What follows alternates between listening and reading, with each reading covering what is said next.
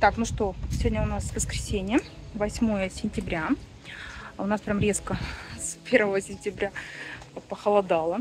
Я сейчас иду, ветерочек такой прохладный, прям ну, облаков-то все-таки взять. А Коля мне договорил, говорит, там жара. А, ой, сейчас вам покажу классный мурал, который у нас нарисовали прямо рядом с нашим домом на перекрестке Береговой и Чехова. У нас вообще в Ростове очень много разных красивых картин нарисовано. У нас тут талантливые художники.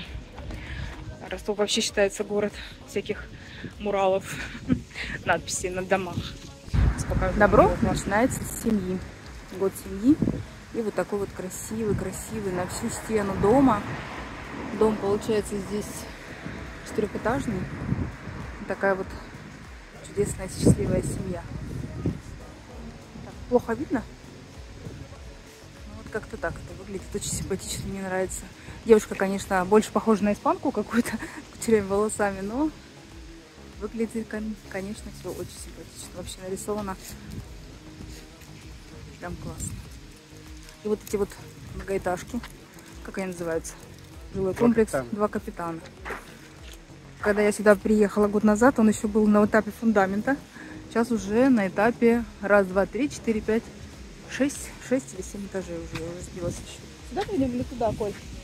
И вот такой тут еще при спуске на набережную. Российские студенческие отряды. Прям как в советское время. Нарисовано очень красиво. Росмолодежь. При поддержке фонда.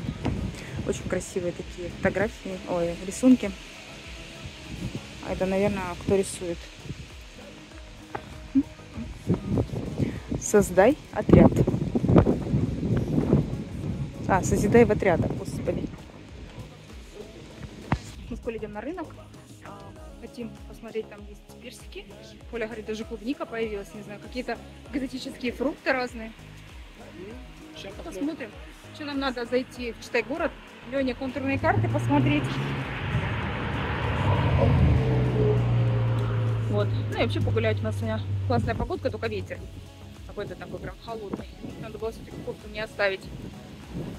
Ну это в тенечке сейчас Так, пришли в Читай город. Очень много всего.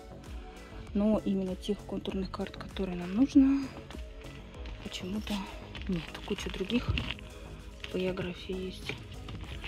А на наших красных таких почему-то нету. Вот такие в прошлом году они брали посвящение. Может подойдет, фиг его знает. Так, и вторая коробочка называется вот так. Holiday Look. Давайте вместе с вами посмотрим, что же в ней было.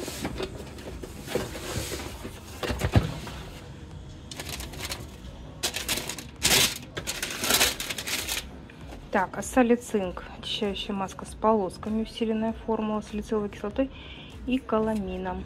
Удаляя черные точки. Классная, наверное, вещь, но сына я вряд ли заставлю пользоваться такой штукой. Так, вот такой вот от, чи от, чистой, от чистой линии криогель для лица. Утро без отеков. Розовый алоэ плюс кофеин. Интересная. Так, потом сыворотка флюид для сухих волос невесомая от Трессомы. Интенсивного линии питания. Вот такая вот. А потом опять от черного жемчуга. Средство для снятия макияжа с лица, глаз и губ. Тоже из этой же серии, как и спрей. С гиалуроном, коллагеном и центеллой.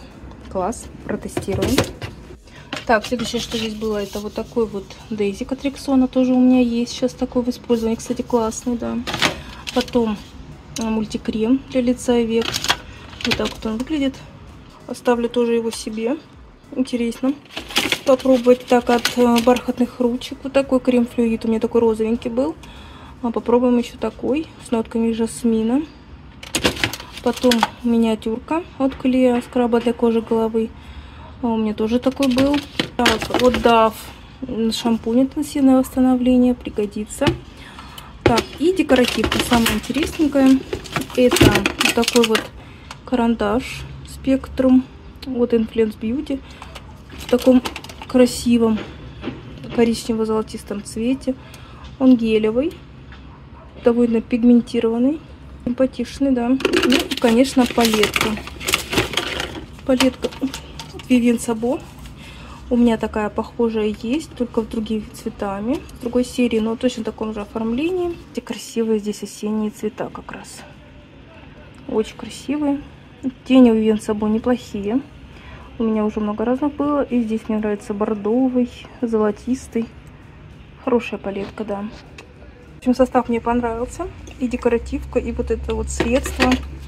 И для волос есть, и крема всякие, и маска вот такая вот. Ну, в общем, неплохой составчик. Что, Мне понравилось, да. А, макияжных болталок. 300 лет, я уже даже не помню, когда последний раз такой снимала, наверное, еще зимой. А, что, у нас началась осень, 3 сентября, день прощаний. Вчера был, сегодня 4 уже сентября, да. У меня сегодня второй выходной, вечер, а я собираюсь э, погулять с дочкой. Она, правда, так и не ответила мне, а приедет она в центр или мне ехать к ней туда, на Вересаева. В общем, она еще не определилась. Ну и пока она не определилась, я решила пока поболтать с вами. А, тем более есть что рассказать, есть что обсудить. А, надеюсь, вам хорошо слышно меня из-за микрофона, потому что здесь вокруг меня очень много посторонних шумов. А, Коля тут спит на фоне. А потом а, стройка идет тут не прекращающаяся. Я окно не могу закрыть, потому что у меня будет э, духота. Жара у нас, как обычно, продолжается. Еще весь сентябрь, скорее всего, будет жарко. Так, ну и заодно мы с вами протестируем вот такой вот тинт новый от Event Sabo, который я брала подружки. Тити Тинт называется, название такое у него интересное.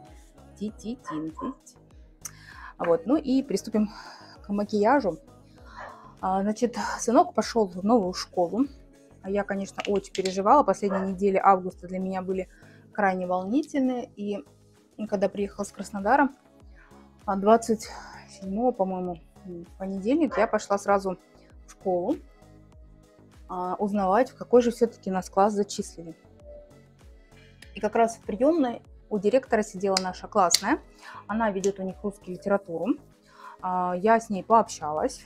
Вот, она сказала, что приходите завтра с сыночком уже. Познакомимся с ним заодно. У них небольшой класс, там всего что-то 22 или 23 человека. Хорошо, у нас маленькая школа. Меня это очень-очень радует. Я не люблю, когда очень много классов, очень большая школа, и э, она не сможет уделять всем внимание, так скажем, ученикам, а так она более-менее, я думаю, что а, ну, сможет как бы уделить ему хоть какое-то большее внимание, чем другим детям. Вот, но а, в классе у него в основном все небольшого роста, он у меня очень высокий мальчик, я вот по этому поводу, конечно, переживаю, потому что я думала, что хотя бы в этом классе будут высокие мальчики, ну что-то как-то нет, не особо по фотографии судя. Он опять будет самый высокий в классе, самый первый, наверное, на по физкультуре. А вот, э, значит, он уже сходил, получается, сегодня у нас четвертое, да, два дня они уже учились, и 2 сентября у него был классный час, как у всех, собственно, линейку у нас отменили, а не было линейки. Вот, ну, пока впечатления не очень понятные, честно говоря. А вот, но зато с классной, слава богу, я нашла общий язык. Меня это очень-очень порадовало.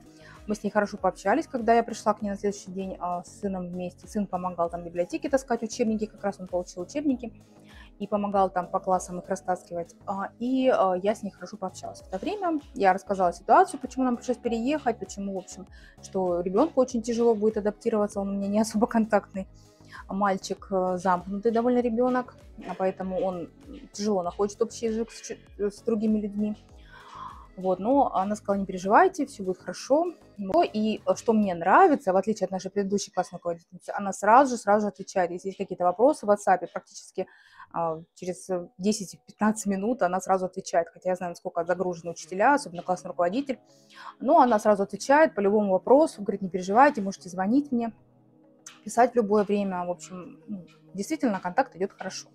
Вот, она средних лет, где-то моих, э, где-то 40, ей может 40 с чем-то. Так что мне она понравилась. Надеюсь, что этот класс, э, мы будем нормально с ней общаться, и все будет хорошо. Потому что русская литература, конечно, очень-очень важны, и э, это из тех предметов главных, которые нужно будет сдавать ОГЭ. А ОГЭ будет дополнительная подготовка, она сказала, если кому-то нужно. Платно там будут какие-то занятия э, для детей некоторых. Я хочу и по русскому, и по алгебре, чтобы у него были дополнительные занятия как раз подготовка к ОГЭ. Вот, ну, надеюсь, что все будет хорошо. Так, надо, наверное, приступать э, к, э, к макияжу. В общем, вот такой вот консилер коллаген от Faberlic мне очень-очень нравится. Я в последнее время практически только им и пользуюсь. Так, как же я съездила в Краснодар? Я вам, конечно же, не рассказывала. Я очень рада, что я съездила, развеялась и еще раз, еще раз убедилась, что все-таки Краснодар это не мой город. Вот Ростов, да. В Ростове, когда я приезжаю сюда, я прям, у меня душа ликует. Я раньше не понимала этого, честно говоря. А, ну, когда ты приезжаешь в определенное место, и, и тебе не то, что доставляет это удовольствие, а ты не хочешь отсюда уезжать. Вот у меня раньше так было с Ростовом. Кстати, уже совсем скоро, в начале октября будет целый год, как я уже переехала. Представляете, я вот думаю, может сделать отдельное видео, а, свое мнение о переезде в Ростов, стоит ли переезжать. Ну, не знаю, еще пока думаю. Я, может, не такой знаток города, все-таки я живу в центре, практически нигде не бываю, кроме центра. И я просто влюблена в центр Ростова. Это вот прям мое-мое, как говорится. Да, так что я не знаю, еще может быть отдельное видео сделать. А Краснодар, а Краснодар это, ну, правда говорят, это большая деревня. А, не, не в обиду всем, кто любит Краснодар, я совершенно понимаю, у кого-то, это просто вот ну, не мой город, у кого-то, а, видимо, он очень любимый, для меня это немножко не мое. Он какой-то показался мне узким, шумным, ну, как бы у нас больше проспекты большие, у нас э, улица даже центральная наша, Большая Садовая, она четырехполосная, она какая-то более свободная, здесь легче дышится, не знаю, как по мне. Ну и, конечно, набережная. Набережная просто ни в одно сравнение не идет. Я была в Волгограде, э, я была в Краснодаре и вот в Ростове. В Ростове самая лучшая из южных городов. Э, естественно, я не была в таких в средней полосе России. Кстати, хотелось бы, конечно, там побывать. Уверена, что, может быть, где-то есть и лучше. Но на данный момент из всех южных столиц, ну, не считая, конечно, Сочи, и всех курортных городов, я их не считаю, Геленджик, конечно, там шикарные набережные, но а, не курортные города, а все-таки, мне кажется, а, Ростов лучшая, лучшая набережная. Если все кто-то еще не был у нас, обязательно побывайте, потому что того, чтобы здесь побывать действительно. Что касается парка Галицкого, конечно, это просто выше всяких похвал. Если ехать в Краснодар, то только в парк Галицкий. Это просто как отдельная страна. А, настолько отличается он от всего другого Краснодара, он настолько ухоженный, э, там так классно дышится, там все такое... А, ну, просто слов нет, одни эмоции. И японский садик, конечно, да, стоит двух часов в очереди, которую я просидела. Я совершенно не жалею, что а, сидела там в очереди. Я так понимаю, что просто туда по-другому не попасть. Поэтому я была согласна и на этом. В общем, там можно гулять и гулять. Мне он очень-очень понравился. И удивительно, самое удивительное, что это все бесплатно. Вот что удивительно. В общем, парк Галицкого – это нечто. Это единственное место, из-за чего стоит туда ехать. Краснодар, конечно. Ну, в общем, подруга сказала, я говорю, не жалею, что переехала. Говорит, да нет, говорит, я привыкла. Но она в центре практически не бывает. Она бывает только в своем районе. А, как я говорила, он находится довольно далеко от центра. И ездит э, гулять, если ездит, гулять, то только в парк Галицкого. У нее есть машина, машина у нее крутая, она молодец. Ездит совершенно свободно по Краснодару. А я, конечно, а, в этом плане полный профан, в отличие от нее, она молодчинка. Вот, э, так что я рада, что у меня есть такая подруга, что если что, мы можем с ней видеться. Вот, и классно, что я съездила, развеялась. Конечно, хостел меня сильно разочаровал. А, непонятно, почему не такие хорошие отзывы на а, Яндекс путешествиях. То ли они куплены, то ли я что-то не пойму. Потому что там были резко негативные отзывы. Все люди спрашивали, да кто им вообще ставит положительные а, отзывы. Как будто они реально куплены. видимо, так и есть. Потому что э, хостел просто ужасный. Не скажу, что он прям весь ужасный, но вот э, туалет, ванна меня очень сильно разочаровали. Кухня еще более-менее, но я там особо не была. Я так брезгливо ко всему относилась. Я быстренько зашла, в холодильнике забрала свои вещи, быстро перекусила и побежала по делам. Благо, я там была недолго. Ну, ладно, недорого, бог с ним. Зато у меня был индивидуальный номер. И если бы там был кондиционер, то, в принципе, все было бы еще более-менее. Ну, что было, то было. Надо было, конечно, становиться у подруги. Но я хотела в центре. Вот, ну, я, в принципе, рада, что съездила, развеялась. У меня, кстати, очень сильно отросли волосы, вы видите? Насколько уже я э, красилась и стриглась последний раз э, в начале мая еще, на Пасху. вот, и вот в сентябре, в сентябре надо уже ехать, э, записываться, краситься и стричься, потому что очень сильно отросли. Но мне так нравится мое окрашивание, что э, не видно границы. и скрывает седину, и вообще, ну, для меня просто идеальное милирование. Я очень-очень довольна своим, своими волосами, своим внешним видом. Вот, но правда они мне сейчас начали лезть. Я опять заказала Миноксин, свой любимый, который меня спасает от выпадения волос. И периодически раз в полгода где-то я использую одну-две бутылочки, и, слава богу, выпадение волос у меня прекращается. По крайней мере, мне он помогает на 100%. Это для меня просто must-have, как я уже говорила много раз. И э, выручает меня при выпадении очень сильно. Вот. И вот как раз весной, последний раз я его использовала, или даже зимой. И вот сейчас, как сезонное э, выпадение, у меня прям пучки вылазят, когда я э, мою голову. Меня это очень сильно расстраивает, поэтому заказала. Сейчас пойду, кстати, заберу его на Яндекс.Маркете. На него там была самая лучшая цена. А, вот, ладно, буду дальше краситься. Расскажу вам про какие фильмы, которые мы посмотрели с Колей вдвоем. Или у меня, видите, какой яркий макияж будет. Кстати, классные тенюшки вот эти, про которые я вам рассказывала на Wildberries. Не знаю, рассказывала или еще расскажу.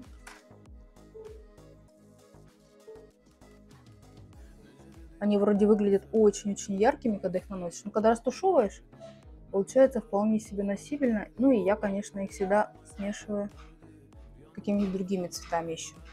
Из моих, моих кремовых многочисленных теней.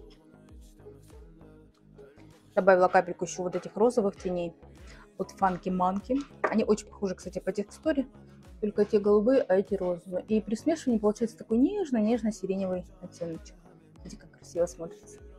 Я полюбила такое сочетание и довольно часто сейчас его использую. Если я хочу, чтобы оно было более голубое, я еще добавляю чуть-чуть голубых, а, и тогда уже макияж получается более голубой.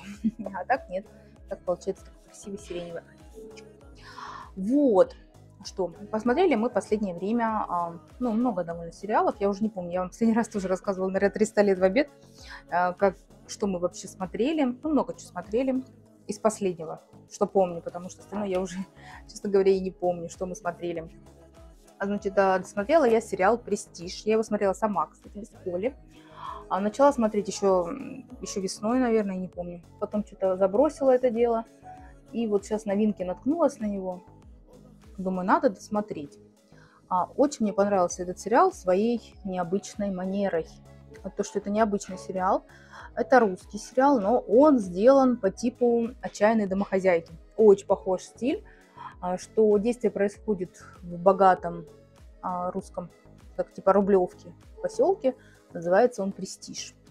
Там живут исключительно богатые люди, и там у них происходит серия убийств, и до сих пор до конца непонятно, кто же убийца. Не то, что до сих пор, а до конца непонятно, я вообще не могла понять, кто же из них все-таки убийца. Это было очень необычно. Ну и в «Отчаянных домохозяйках» было нечто подобное. Там тоже кто-то убивал, и непонятно кто. Ну там тоже есть какие-то интриги всякие, и ревность, и измены. А, очень прикольный, интересный сериал. И когда выяснилось, что кто действительно был убийца, я очень-очень удивилась. Это было неожиданно, да. Ну и вообще в манере происходит все это как будто а бабушка рассказывает на Новый год внукам историю. И вот это все она описывает, и вот такой закадровый голос, вот очень похоже на «Отчаянных домохозяек». Так что если кто-то любит «Отчаянные домохозяйки», а, советую посмотреть. Сериал «Престиж» называется. Там а, Ирина Розанова снимается, очень много разных. Ирина Дубцова, там очень много известных популярных актеров снимается. В общем, классный, классный сериал, действительно советую, советую, да. Вот, потом с мужем мы посмотрели сериал «На автомате» называется. А он был в рейтинге кинопоиска. Я обычно по рейтингу смотрю, какой там лучший сериал. Ну и написано, что это была вроде как комедия криминальная. Ну, решили посмотреть. В общем, про, сериал про двух братьев, которые а, находят э, склад с оружием, схрон так называемый. И вот что они решаются с ним делать. Как это все происходит в каком-то маленьком астраханском городке, я так поняла. И, в общем, все это так закручивается, закручивается. В принципе, ничего там такого особого нет. А, страшного, я имею в виду. Сериал действительно прикольный, нам с мужем понравился он. Не скажу, что прям очень сильно, но, в принципе, посмотреть вдвоем, провести время довольно неплохо, так скажем. А, серия интересная, не сказать, что сильно закрученная. Ну и все так более-менее нормально закончилось. А так что могу посоветовать, тоже прикольный сериальчик. Вот, еще я смотрю сериал «Игры», который вышел про Олимпиаду 80-х. А, вот, ну, он, конечно, несколько неоднозначный, а, немножко есть э, там много несостыковок, вернее, всяких. Писали, что у него не очень хороший рейтинг из-за того, что а, много неправдоподобного или там каких-то там пропаганда, наоборот, какая-то антироссийская там. Ну, не знаю, я ничего такого особо не заметила. В принципе, а в целом мне интересно было, как это все происходило. Я как раз в 80-м году родилась, как раз когда игры олимпийские вышли. И было интересно, в общем. Вообще мне интересно наблюдать. Я сейчас, по-моему, 3 или 4 серии только посмотрела. Там еще какая-то вышла, еще не успела посмотреть. Так что, в принципе, ну так, пока 50-50, так скажем. Не скажу, что мне прям очень понравился. Но, в принципе, а, смотреть довольно интересно. Сюжет интересный. В общем, там тоже идет как Америка настраивала против Советского Союза, когда вошли войска в Афганистан, и они сказали, что мы будем игнорировать ваши Олимпийские игры, и вообще не будут они проводиться в Москве из-за этого, из-за того, что вы типа а, оккупанты. Ну, очень похожая ситуация. А я, например, не знала об этом. Что, оказывается, очень тяжело было провести Олимпийские игры в Москве в 80-м году. Оказывается, такая же ситуация была похожа. Вот, что касается тинта, у него, кстати, очень приятный привкус малинки или что-то какого-то клубники, что-то очень приятное. Вообще это как бы, как будто бы не тинт, а как будто жидкая помада. Он совершенно не сушит губы, совершенно просто. Очень приятный на губах. М-м, такая приятная, в общем, увлажненность, как будто блеск или что-то нанесла такое. Но а, вот он выглядит вот так, но когда ты его смываешь, вот он потихоньку сходит в губы и остается вот такой тинт, действительно. Поэтому он, собственно, называется тинт. Ну, приятно, мне нравится. Его удобно поправить на бегу, на бегу. Он не сушит губы, как я уже сказала, очень комфортный, приятный, классный. Мне нравится он. В общем, а, я не жалею, что взяла. Так что, если видите, кто-то любит такую вот текстуру увлажненную на губах, но при этом тентующую, я такой люблю. Так что могу посоветовать, мне нравится, как он смотрится на губах. И у меня оттеночки 0,5. Это такой нежно-розовый оттенок на каждый день. Розово-лиловый, как я люблю. Я еще делаю обводку.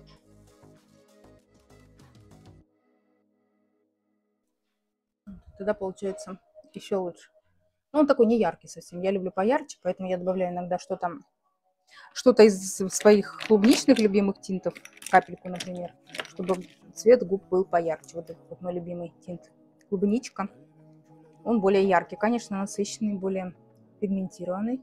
Вот я буквально капельку наношу на центр губ. Вот, уже губы становятся более заметные, так скажем. Это как это смотрится. Belki başa düştüm ben sen o bakışlardan